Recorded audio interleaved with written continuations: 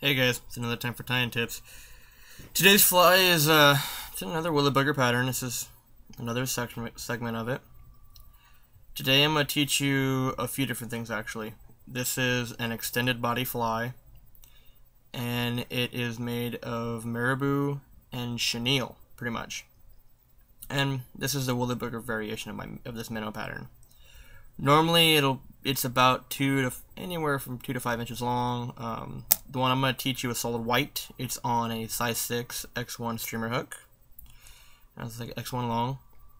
But the cool thing about it, this is the smaller version. Yeah, that's it. I'm going to show you how to wrap the chenille back on the marabou. And this is actually my damsel pattern of this fly. So the body's a little thicker than the tail and it is wrapped hackle, but I trim the tops and bottoms to get the legs and gills. Alright, the version I'm going to teach you, however, is a bit bigger. It's more of a streamer pattern, and uh, it's really good for bass and carp and big trout. But this small version, if you do it without the marabou on the right here, in the hackle and leave the body kind of thin. This is uh, micro chenille on this one. You can, if you do it in red or a pink or even a brown, you can use them for worm patterns, even a, San Juan worm. It's a really good way to do it on this one. So, alright. I'm going to take you guys to the vise and now show you how to tie it. Okay, so here we go. Got my thread. This is using white 6-aught. We'll start at the front and I'm going to show you why. We're going to put a dumbbell on this guy because this is going to be our streamer version. Sit there. And we're going to tighten our dumbbell a little bit away from the eye on the back because we're going to wrap some chenille and a little bit of material in front of it too. So we'll get this guy secure. Two, three, four, five. One, two, three, four, five. There we go. We'll do a couple like that to secure it. And we'll go to the back. Just like that. Now, when I ever, when I always do my dumbbells, I always do them on the top of the hook because I want it to ride upside down. So, here's our marabou feather.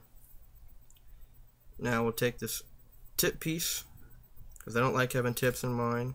Doesn't look good. And we'll clip it out. We'll take it, and we're going to go a little longer than the hook. This is a good poofy fly, too. Po good poofy feather. And we'll secure it in. We're to wrap it all the way to the front.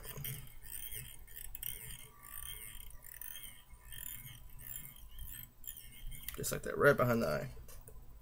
But a little bit of a gap behind the eye, so when we wrap stuff in, I'm not to crowd it.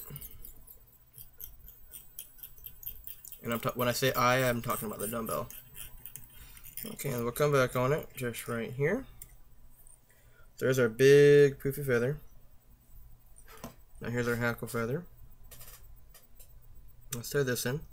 Now this is, it's very easy to do. It's not super tricky or hard or anything. But it's a great, great fly. We use them a lot of times for smallmouth.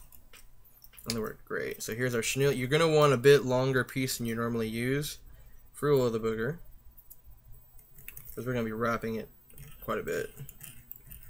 Okay, so it's right there. We'll bring this up to the front because we're not going to wrap anything for a little while. And then we'll take this and we'll just do one wrap. Just kind of like that. Just to keep this up here. So don't want to, you don't want to wrap over it. And we'll do one wrap like this. And then we're going to come start going backwards on the hook. Just like that. And then we're going to transfer from the hook onto the mono, onto the marabou.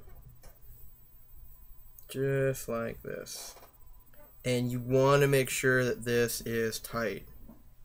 If a couple of the fibers leak out from the chenille, it's okay, you can trim them off.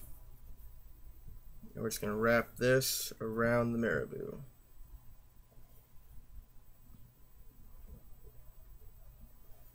And I'll usually go about three quarters back. So I got a little bit of poof there. And keep it tight. And then we're going to do our wraps back, but we're not going to make them as even. We're just going to kind of put some space in between to get back. But make sure it's tight so it'll sink in.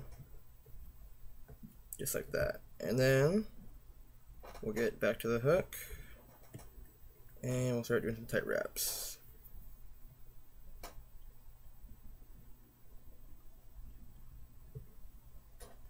And then we're up to where we want to be. Undo the hackle, pull that back, and there we go. Now we're going to wrap forward.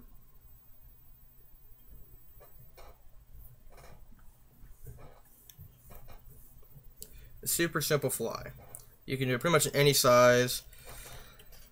I like it a little, a little, about like this length on fishing bass and trout and stuff.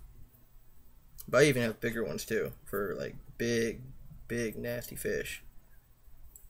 Now you can do this fly without the hackle or with. I like it with sometimes just because it adds a little bit to it.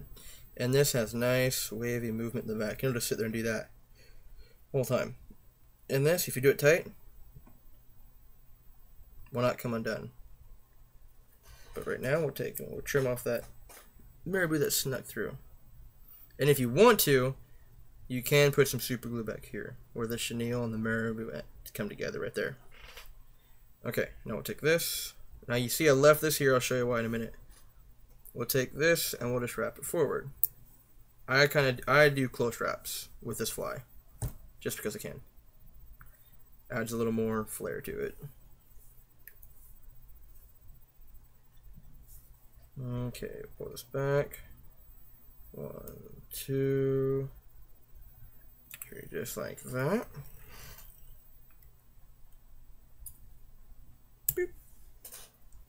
Clip that off.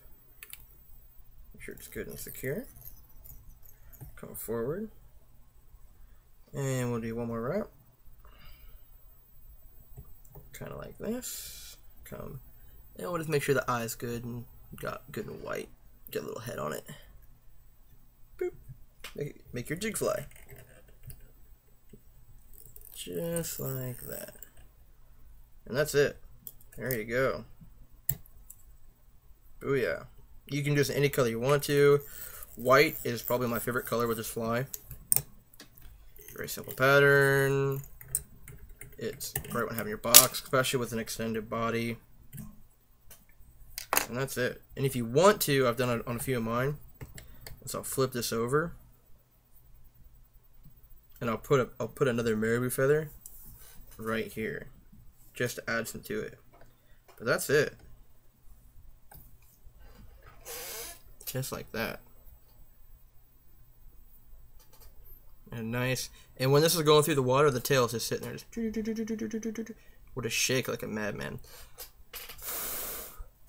but it gives it nice action.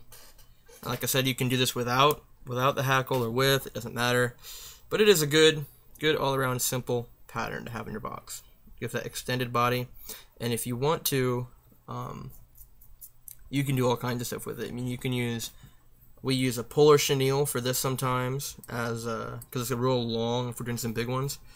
Do polar chenille as the hackle, or we'll do a couple wraps right here behind the head, or we'll do it without a dumbbell. You know, the, it's limitless, limitless what you can do with it.